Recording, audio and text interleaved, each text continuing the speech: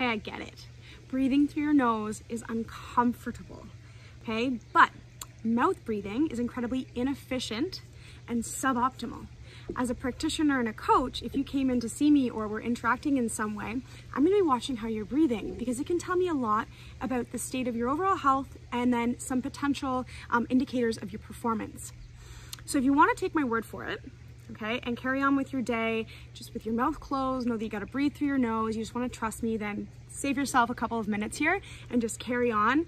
Um, but if you wanna learn, I want you to keep watching and consider taking my upcoming uh, cardio for curling course program that I'm gonna be putting together because it's gonna be a nice educative, um, educative, it's gonna be a nice education opportunity so that you can learn more about how to breathe efficiently for curling, how to train specifically for curling, um, and then of course be able to rebound between shots and have that energy for an entire tournament. So let's think about this. Why do we breathe?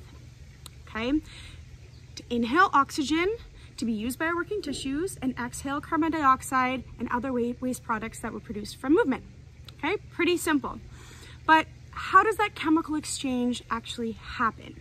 And, and more importantly, can we influence its efficiency? So I'm gonna warn you, this is gonna get a little nerdy, right? But no more than like a high school bio, I promise. So let's take a step back here. I want you to do something for me. I want you to just take a deep breath for me. Okay, think, okay, I need to calm my breath and my mental state down after a hard sweep so that I can do something like talk to my teammate, uh, sweep another shot, or most importantly, throw my next shot. Okay, so I want you to take that deep breath right now, whatever you think that would look like for you. Okay, so most people do this. They go, and it's all in the chest and you're aiming for volume and maybe even you forcibly exhale that air. Okay, so how chest breathing affects your overall focus and efficient performance is time for another post or DM me if you're like, I want to get into the nitty of the gritty for this now. Like, I want to know now, I want to know when now, I want to know now. But at the end of it, you aim for a bigger volume of air. So most people think deep breath means bigger volume of air. How many times have you thought bigger, deeper breath meant big breath? Hmm? Most people think more air equals more oxygen. Okay, more oxygen to my muscles, I can get more out of it, I can get rid of lactic acid, yada, yada, yada. But no, more air does not mean a guaranteed more oxygen to the working tissues. Okay, so bear with me and let's talk about what's happening at the lungs, the alveoli, and the blood vessels, the capillaries. I've got a little diagram here for us today. Okay, so we've got the lungs, and the blood vessels, okay? So we breathe in oxygen, and when we breathe out, we hope to breathe out carbon dioxide, okay? Now, what isn't talked about is how this happens. How does the oxy how does the carbon dioxide get into the lungs to be breathed out? And how does the oxygen get into the bloodstream to be used with the working tissues? So what actually needs to happen is an exchange. There's a chemical exchange happening here. The oxygen exchanges for CO2. Now, what has to happen that isn't talked about is that there needs to be a buildup of CO2 in the bloodstream. Okay, just because I take in a bigger volume of air doesn't automatically mean that oxygen is going to transfer. We need a buildup of carbon dioxide in the blood in order for this exchange to happen. So if we have more oxygen on this side, maybe from a large volume of air that we just took, that deep breath that we took, we only offload part of the CO2 from the blood. Okay, so only some of the CO2 comes over. So a big volume of air means actually less oxygen and carbon dioxide to do this exchange. And when we regulate our breathing and we learn how to regulate our breathing and ensure that we are taking in only as much air as we need, we are able to offload more CO2 and absorb more oxygen. Okay, so you might feel at some point, you might be thinking, well, sometimes I feel like I need a big volume of air. I, I need more oxygen in my body. I feel like it.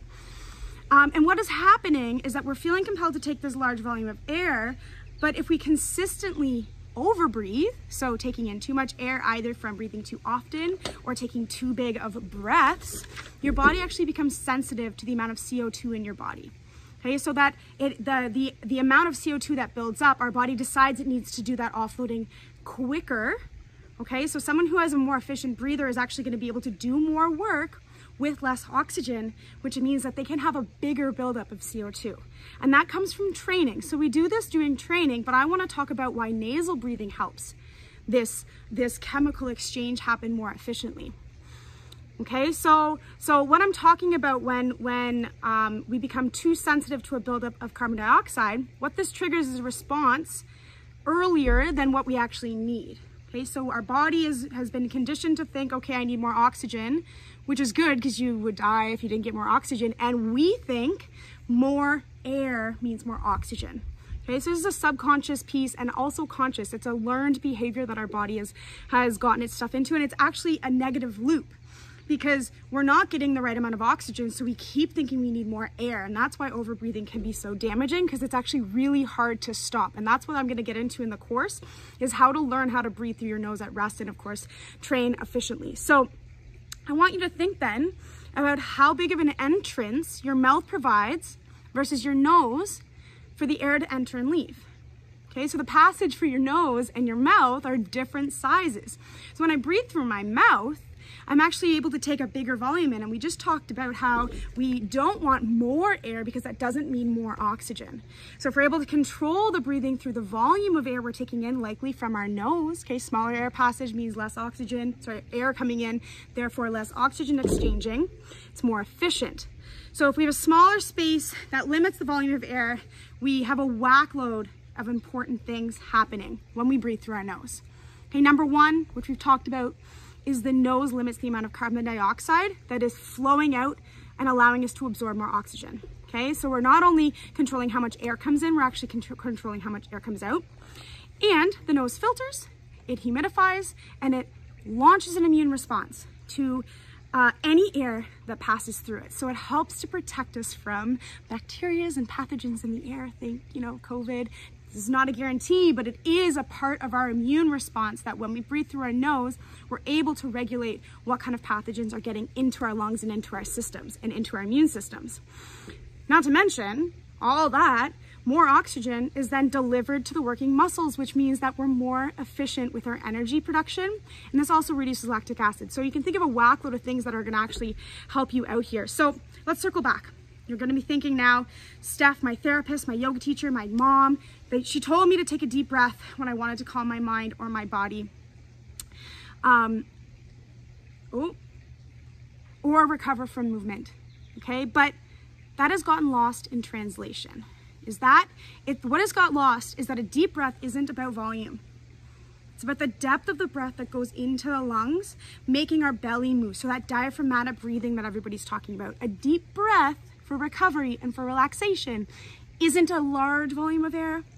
It's a deep breath into the belly. Okay, and in and so if the response to this video is really good, I'm actually gonna do a, part two and we'll talk about belly breath and chest breath and how to be most efficient with managing our, our nervous system as well as our cardiovascular system, yada, yada, yada.